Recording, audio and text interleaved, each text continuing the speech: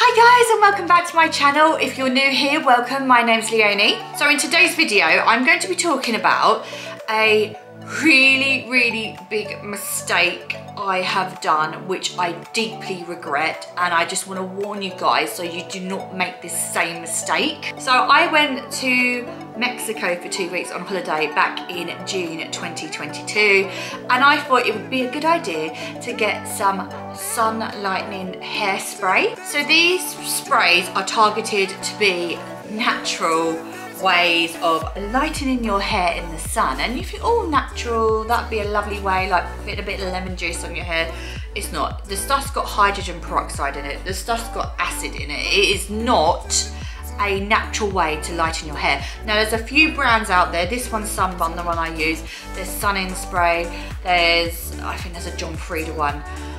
Stay away from them. Do not put them on your hair. Just just don't, don't do it. So I am now six months down the line from using this product and I still cannot get my hair done.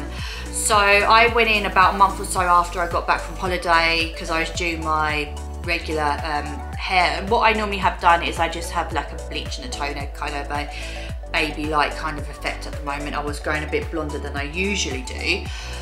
So I told my hairdresser about it and I said, oh, I went on holiday and used this stuff because it was quite obvious because this stuff as well, it goes a brassy, coppery colour when you put it on your hair. So for the life of me, I could not tone that coppery tinge out my hair. I put lots of toners on it in between like getting back from holiday and getting my hair done just to try and get that because I just, they were so like coppery and horrible. Like my roots were horrible.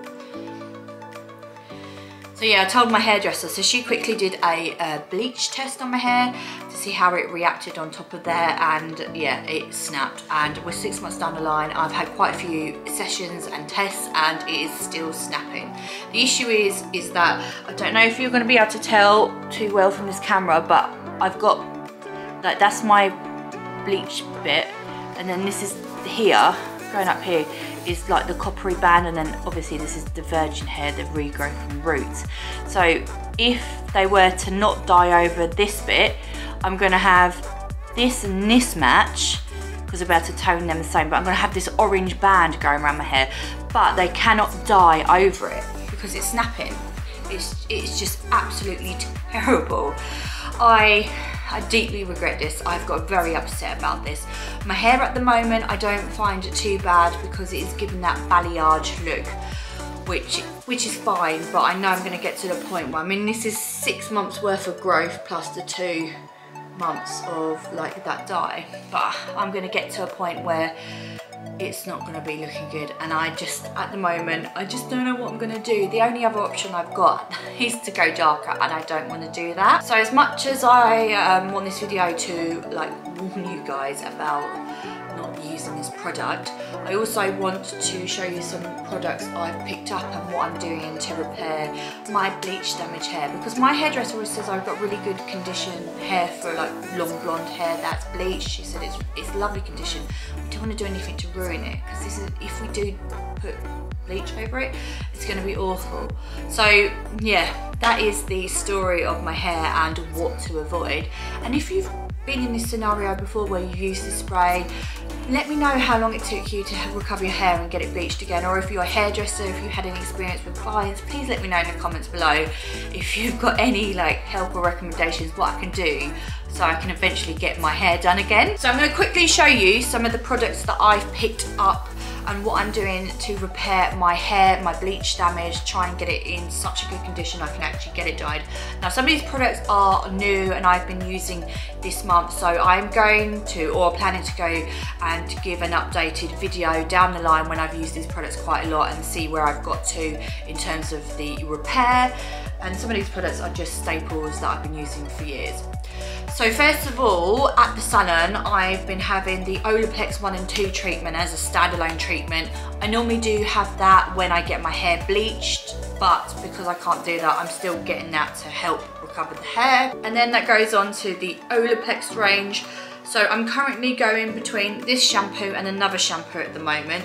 So I'm using the Olaplex 4 and 5 shampoo. This is the shampoo and conditioner range.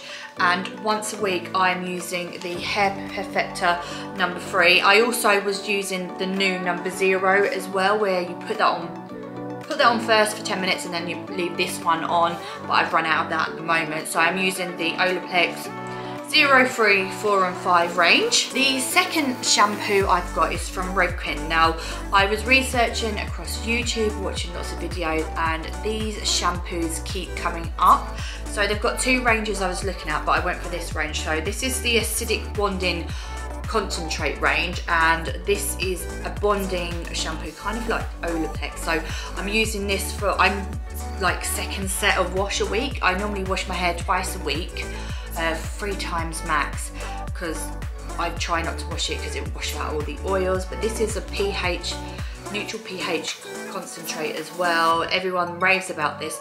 They also have another brand which I've got some of the stuff but I didn't get the shampoo and conditioner this time and it's the extreme range and it's the bleach recovery. So there is also a bleach recovery shampoo and conditioner but I went for the bonding ones. They are really nice. I washed my hair with these for the first time the other day and my hair felt absolutely lovely so I'm hoping these are really going to help. And then from the Redken range Extreme Bleach Recovery Lamellar water treatment. So this is another treatment for bleach. I use this once a week as well so I try and separate the Olaplex treatment days and leave enough time for the this treatment day, so I'm not doing them too close together.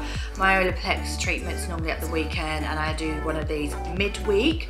This stuff is meant to be absolutely amazing. It does give your hair a really nice like silky coating. So yeah, have a look at the Redken concentrate bonding range and the extreme bleach range if you're looking to like do a whole like bleach recovery. I then got the extreme bleach recovery Cica Cream, I think it is, the Cica Cream. This is a leave-in conditioner. Now, I'm not someone that's really ever used leave-in conditioner before. I don't know why. I should do because I've got quite long hair but I've started to do leave-in conditioners. This is lovely. So after I've washed with either the Olaplex or the Redken shampoos and I've done my treatments I whack a bit of this in my hair as a leave-in conditioner. And next from the Redken range is the Extreme Play Safe Heat Cream. Now I put this on before I blow dry my hair. It's meant to protect your hair up to 230 it's a kind of leave-in treatment as well as like a protection spray as well. I'm trying to avoid not using heat on my hair I am an avid curler, but I'm trying to stay away from that and blow dry my hair and use other ways of curling my hair. But just for the blow drying alone, I am using this stuff. It's meant to be absolutely amazing. I saw loads of recommendations from hairdressers and hair gurus on YouTube about this, so I was like, I have to get it. So this is another product that's reinforcing and bodyfying for the hair, and this is the Davines Liquid Spell. Now I actually got recommended this more for a post-party postpartum hair loss. It's meant to be really good for like thickening the front of your strands and I've definitely noticed that they're not so fly away. They do feel a bit stronger from using this. So this one, will it help with my bleach damage? I don't know, but it's definitely making my hair feel a lot better in that sense. I thought I'd just include it in this video because it is one of my new hair care products I've bought at the moment. So for those of you who may be interested, I'm going to be doing a whole postpartum hair journey as I'm currently pregnant with my second baby. My first time round, I did have postpartum hair loss, but I didn't actually have it that bad.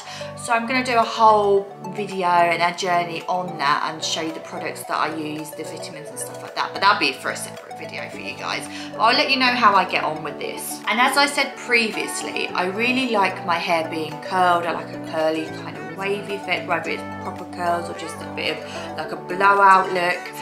But I'm trying to stay away from heat.